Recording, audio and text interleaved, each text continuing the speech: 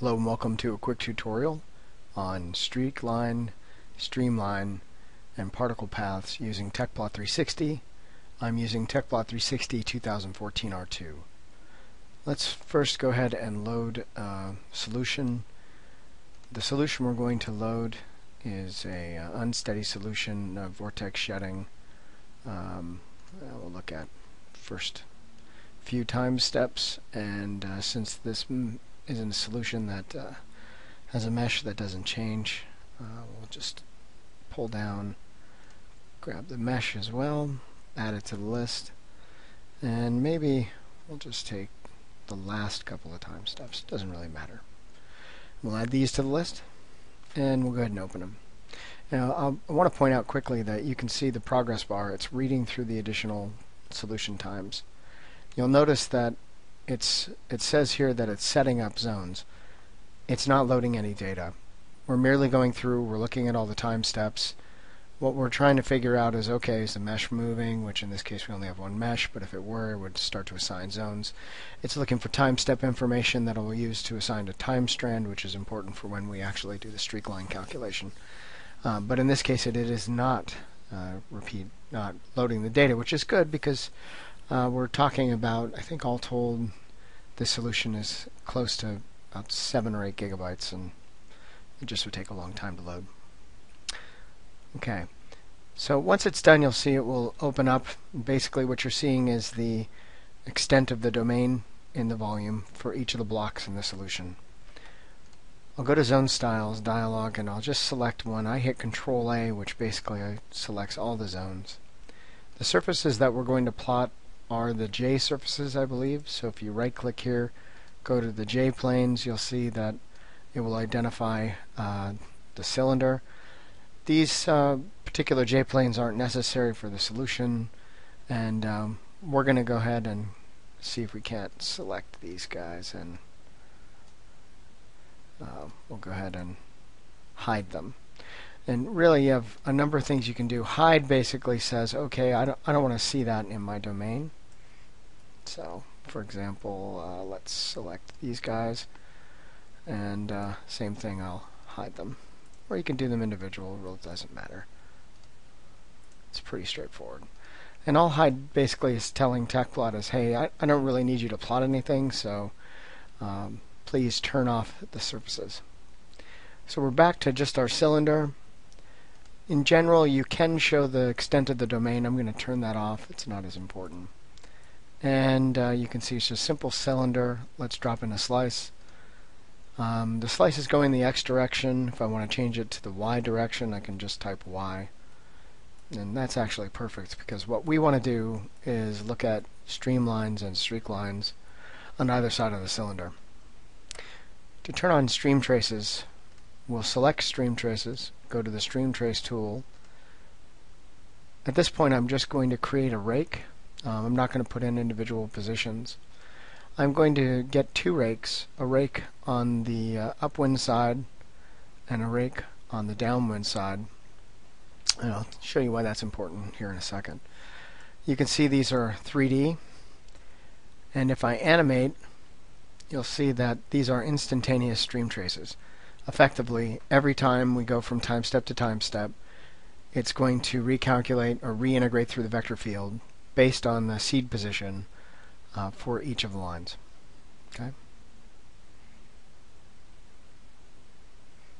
So this is uh, for a steady state solution in particular. Stream traces are, are basically fine, um, but we're quite interested in looking at streak line analysis and particles with mass.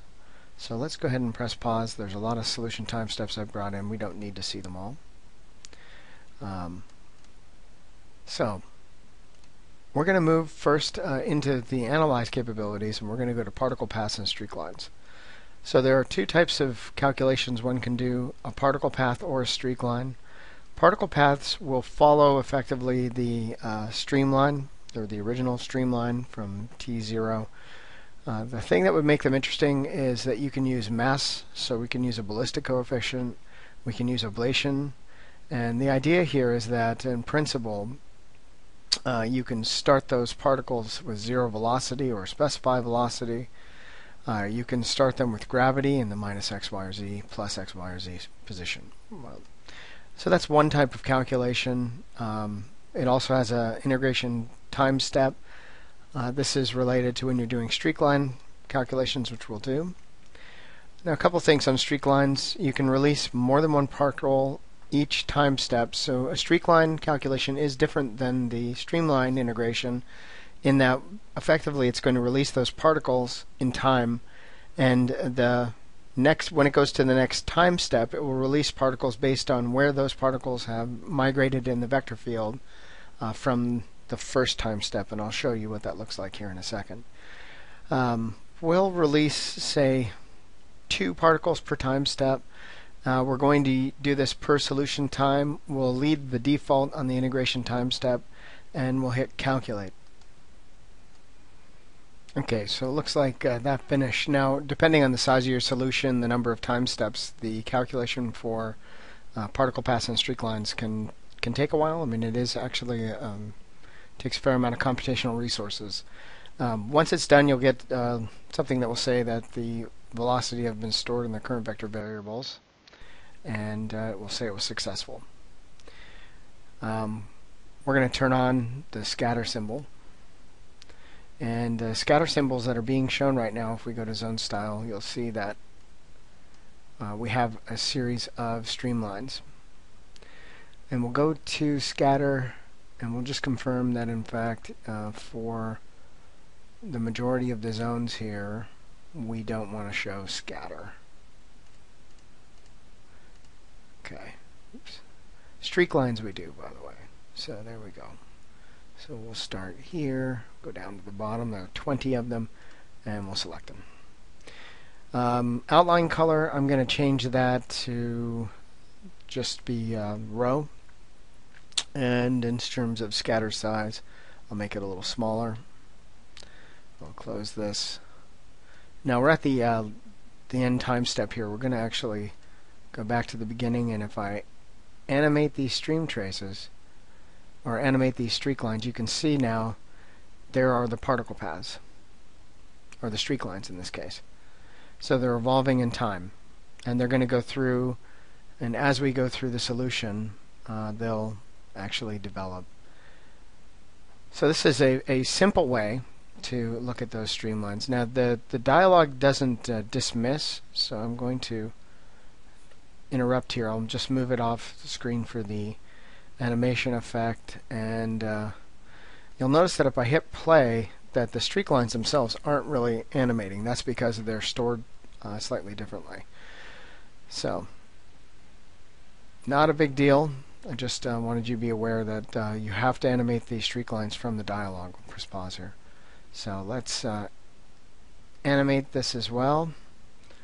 So you can see those streak lines developing. And so it's a relatively easy operation uh, to generate streak lines. In this case, you'll see that we're, actually obscured a little bit because of the slice. I'm going to uh, turn the slice off, so I will stop this for a moment. If you want to turn off the slice, you can actually just double click on the slice here. Oop, that's a stream trace. And um, you can turn it off or uh, just undo slices undo the stream traces.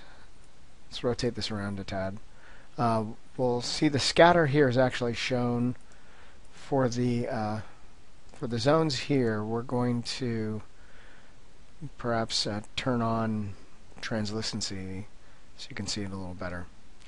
And uh, now we'll we'll go ahead and animate again on screen, and so you can see uh, where those streak lines are going as they develop in time. So it's a pretty nice way to look at uh, turbulent flows. And you'll see that it continues to release two streams per time step.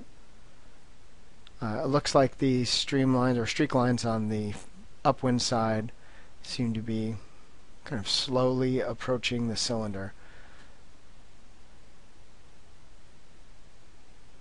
And that's uh, how you do the calculation. Again, you can also use mass. So if you wanted to use mass, you can use um, ballistic coefficients as well. So there's lots of uh, different options. You can change the integration time step. You don't have to release it just with the solution time level. You can make it arbitrary. And that's how you do uh, streak line animation. So In the next tutorial, we'll be talking about gradients and shadow graph calculations. Thanks for watching, and see you in the next tutorial.